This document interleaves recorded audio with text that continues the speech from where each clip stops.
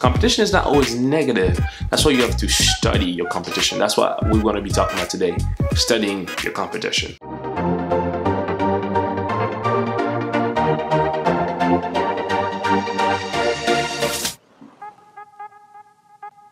Hey guys, my name is Salem Soni and welcome to my YouTube channel where I help individuals such as yourself be more motivated, discover their purpose, and understand that you are God very best. If you're new to the channel, consider subscribing. Uh, in our series about doing market research, today we're going to be talking about your competition. Because to some degree or another you're gonna have competition while you're doing what you're doing. It's great if you don't have any competition but sometimes also not having competition doesn't let help you evolve. It doesn't help you get better right? Like for example, just to give you an idea, when Uber started, uh, Uber really started with the idea of there wasn't much competition, and then when Lyft and many other carpooling with the same idea of having everything to do through the app started coming, they started improving the option they were giving. They started improving, tightening on the on the time how they're paying their drivers, and just trying to make the platform better. The more competition there is, uh, the more one is forced to uh, to improve to to try to differentiate themselves right? Think about this. Some of the industries where you see the the poorest amount of customer service so sometimes the poorest amount of product in terms of availability to the customers is where there's less competition. I'm thinking just the top of my head of like airlines for example uh, live in America and some of the major airlines here, they could care less about their customers because they know that we only have about four to five really choices on anywhere we can go, at least the bigger airlines. ISPs like internet service providers, for example, there's only a few of them. I think there's only really one in where I live. So their their customer service or sometimes the, the, the internet I guess sometimes is not the best, but they know that there's not much competition, so I don't have much of a choice.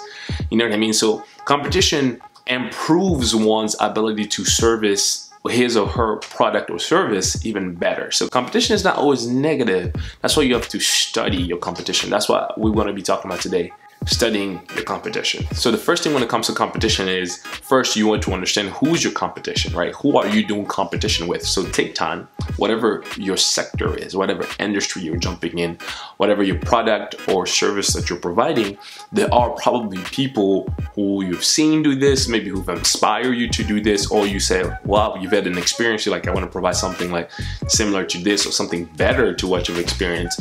Those individuals will be your competition. Let's take example, I live in Florida right now, and due to the, the very hot weather and it's pretty warm most of the year compared to other places in America. I don't know where in the world you might be watching this, but there's a lot of ice cream shops. And one of the ice cream shops that I know that's most around the area is called Twisty's Treat. Twisty's Treats. Twisty Street. Try to say that five times, right? It's not that easy. But one of the things I love about Twisties is that they're kind of a franchise brand. So there's a lot of twist, um, uh, twisties all over, especially Central Florida. And one of the things that's interesting about twisties is that in their particular market, for example, let's say if you wanted to start an ice cream type shop or franchise, Twisties will be your competition, right? Because directly that's what they do. There's other bigger ice cream markets like, you know, Cold Stone, uh, Brewster's, you know what I mean? All they make kind of ice cream, just different places. They're known for their ice cream uh, selection. That's what they do. Uh, Häagen-Dazs, um, where are some other ice cream place? May, maybe shut some uh, in the description. I would love to hear some of what you think about ice cream places.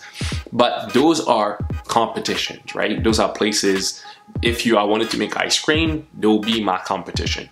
But there are also people who are, because of their size, they'll be indirectly my competition because ice cream is one of the product that they carry. For example, think about McDonald's or Burger King or Wendy's. All these big fast food places sometimes do offer ice cream. Like for example, you can get a milkshake or you can get a, a sundae, an Oreo blast. The point I'm trying to make is there's many other places where ice cream is one of the products that they do have. So for example, in McDonald's case, McDonald would then be indirectly your competition as well because you still have to uh, fight the market share that they're taking of the ice cream because of the customers who go there. Because if they can provide a burger and an ice cream to that customer in one area, that takes one customer potentially that could be coming to you for ice cream. Another thing that I want you to focus on is look at your competition and ask yourself, what is my competition doing right? what are they doing excellent? What are they doing that works? What are they doing that their customers enjoy, like very much, right? Or maybe you might yourself have been a customer at one point of what they're doing. What have you enjoyed about it? A lot of the times people like to focus on what somebody is doing wrong so they can be able to, you know, point out what they're doing wrong. But you first want to understand what they're doing right because they're obviously doing something right if they're making money. The reason why you want to focus on what is they're doing right is because you want to be able to uh, look carefully at what they're doing right and see if you can implement some of the same, maybe not uh, exactly what they're doing because you got to be careful uh, in terms of intellectual property and things like that. But you want to be able to uh, emulate, trace their successful habits, techniques, marketing strategy, um, so that you can adapt that to your business as well. There's no need to recreate the wheel. If they, they know they've done something that works, just implement that in what you're doing. So you want to look at my competition. What is my competition doing right? Can I implement whatever they're doing that is working in what I am doing? Uh, another thing you want to do in your about your competition is know the pricing. Understand what is their pricing point. So obviously because you're trying to make money doing business, you're gonna have to charge your customers.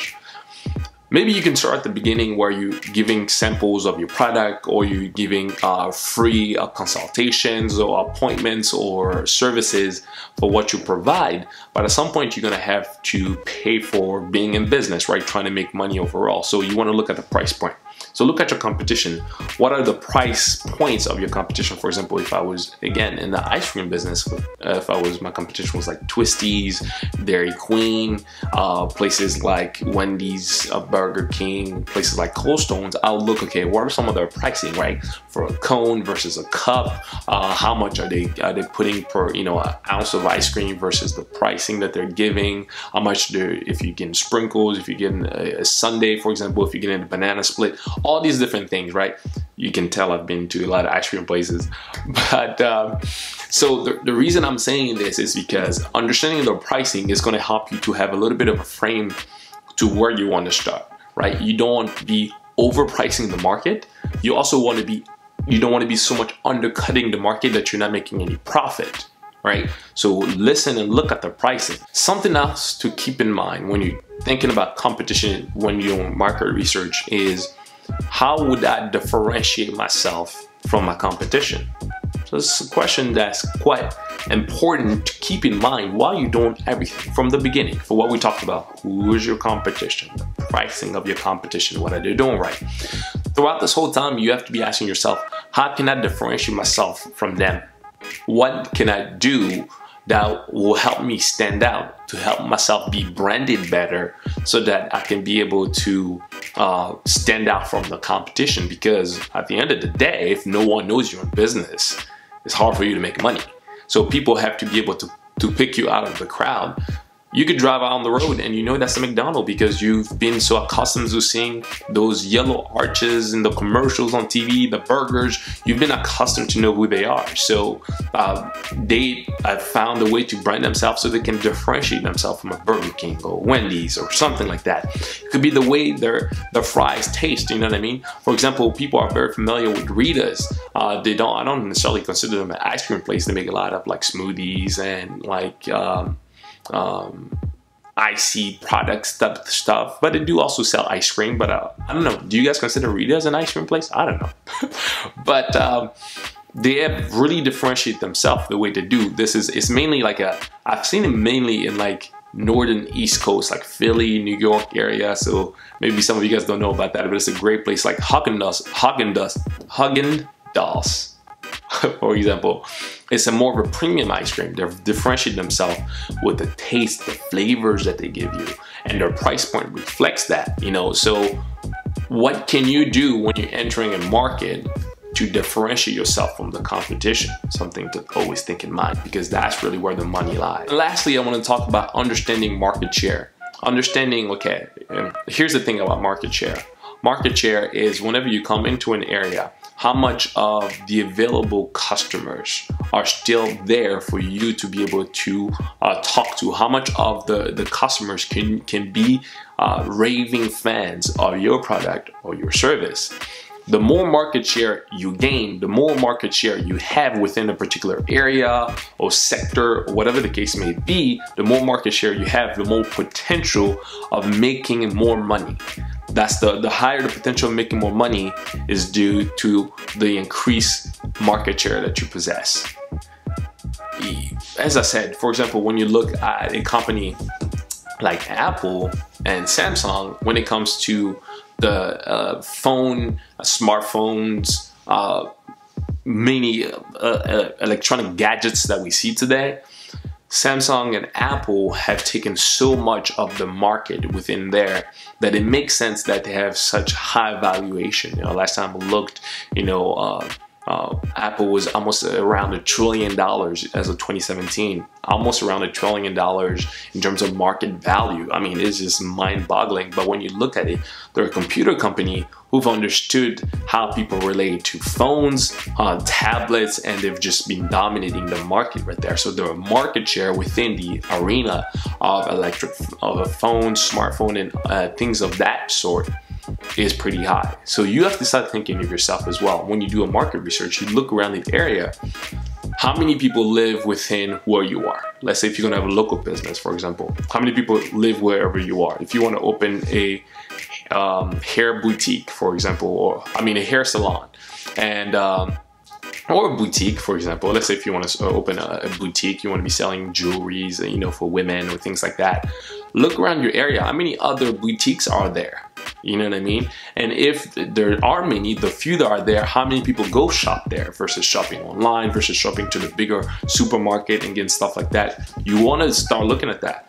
Count the population within the area, count how many people go to those different places. That gives you an idea. You want to know these different things because they're going to help you in terms of knowing exactly what are the availability of the people who can be able to come to come shop where you are. You want to open a restaurant.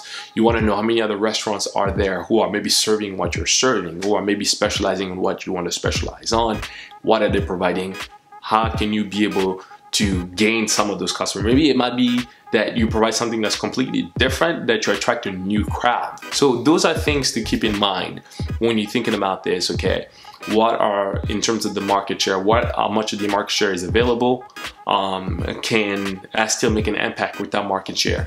And the last thing to think about also with market share is uh, with the available market share with the price point that we talked about at the beginning can you make a lot of money with that market share. Or maybe you should be going to a different place. You know, maybe the local area where you're trying to do business is not going to be conducive for you being massively successful. Uh, maybe you might have to relocate. Maybe you might have to have different location. Maybe you might have to do everything online. Maybe you might have to provide a service that's completely digital. Uh, so those are different things you want to know. Now with the internet today, the smartphone and a laptop, you can do business anywhere you know so something to think about uh, this has been a video where we've been talking about competition uh, understanding your competition, how to research your competition when you're doing your market research for your business. I hope these were helpful for you. If it was, uh, give this video a thumbs up. It really does help me and also share this. If you're new, consider subscribing as well. Let me know in the comment section what you guys thought about this. Um, mainly this video is to help you guys. If you guys have any ideas or anything more specific you want me to cover, I would love to. Watch the next video. We're going to be talking about understanding um, the product or the service that you want to do. But until then, remember your God's very best. I love you guys and I'll see you next time.